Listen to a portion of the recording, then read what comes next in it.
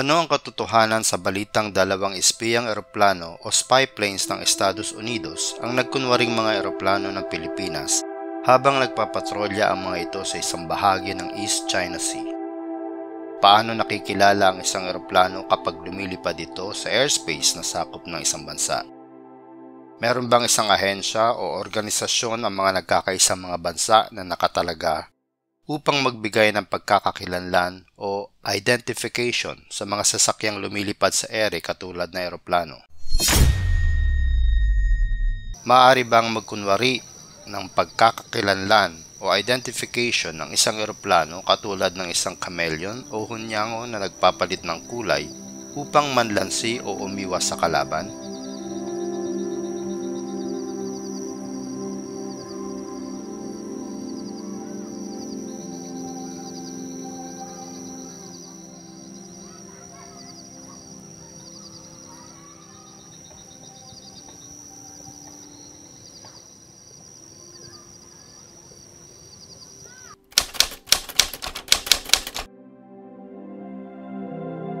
September 22, Martes ng taong kasalukuyan.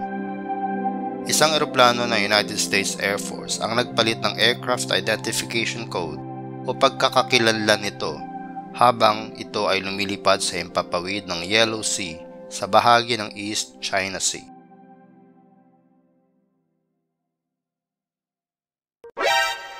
Ito ang ulat mula sa South China Sea Strategic Situation Probing Initiative o SCSPI na nakabase sa Beijing. Mayroon din kaparehang ulat sa Twitter mula sa Aircraft Spots, isang ahensyang nagmamasid sa mga lumilipad na eroplano. Ayon dito, rumesponde ang eroplano gamit ang ibang hex code noong ito ay nasa may Yellow Sea na nasa pagitan ng baybayin ng China at Korean Peninsula. Ang hex code ay itinatalaga ng International Civil Aviation Organization sa lahat ng sasakyang himpapawid bilang pagkakakilanlan ng mga ito. Habang ito ay lumilipad sa himpapawid ng Yellow Sea, isang RC-135 reconnaissance aircraft o eroplanong pang-espiya ang gumamit ng hex code na naka-assign sa isang eroplano ng Pilipinas. Subalit bumalik ito sa paggamit ng tunay nitong hex code Matapos ang misyon nito ayon sa ulat ng South China Sea Strategic Situation Probing Initiative, SCSPI. Isang linggo bago nito, iniulat din ng SCSPI na may mga RC-135 ang Amerika na nagkunwari mga sibilyang eroplano ng bansang Malaysia habang lumilipad malapit sa airspace ng China. Naiulat din ng magazine na Popular Mechanics at ilang mga independenteng tagamasid ang nasabing pagpapalit ng hex code.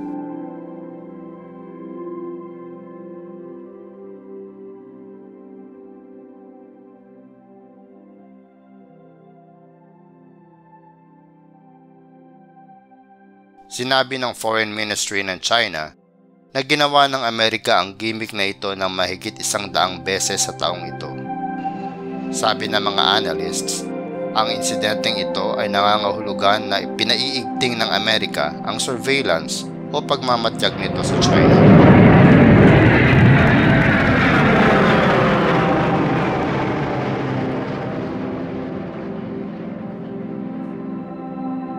Subalit ang gawaang ito ng Amerika ay maaaring lalo pang magpalala ng tensyon sa pagitan ng dalawang higanteng bansa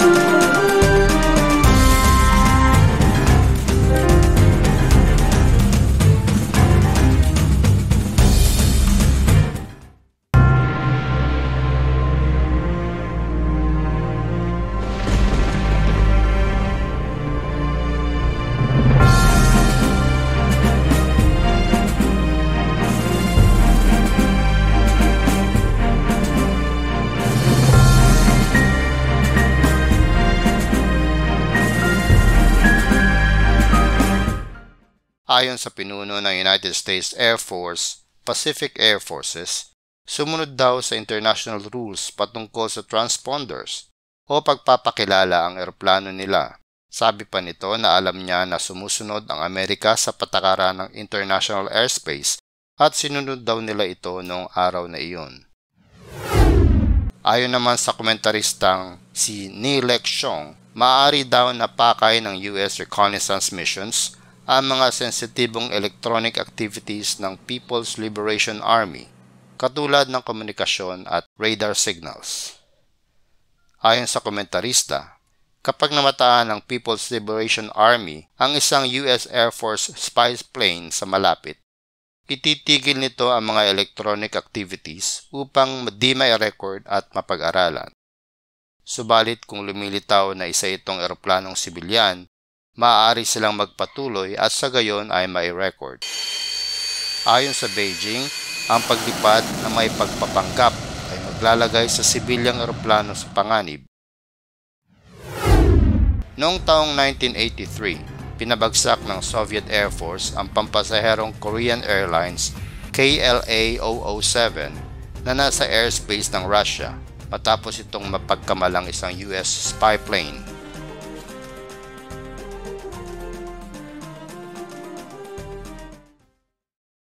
Patay lahat ang 269 na pasahero ng eroplanong Korean.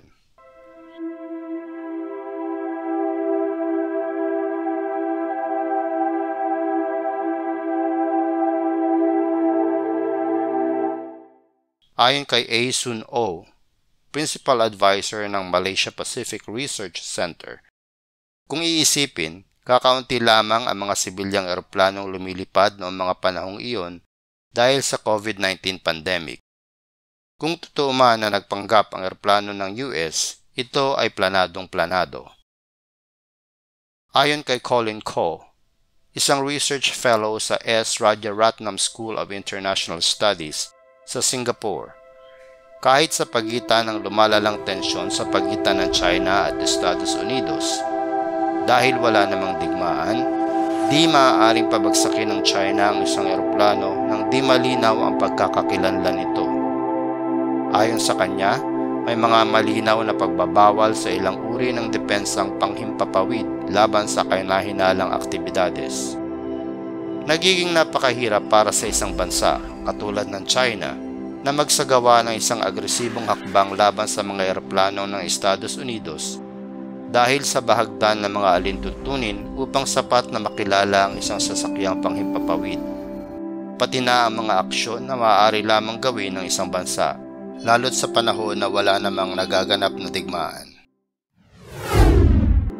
Ayon kay Ni Le Xiong, na bagamat ang mga US spy planes ay mga buwisit sa China, nananatili naman ang mga ito sa labas ng territorial airspace ng China na 12 nautical miles. Ayon sa kanya, technically, ang mga US spy planes ay nasa international airspace at di sila maaaring pabagsakin o tirahin ng China. Subalit mainam na nagmamasid ang People's Liberation Army at nakikita nila ang mga pagpapanggap ng Estados Unidos.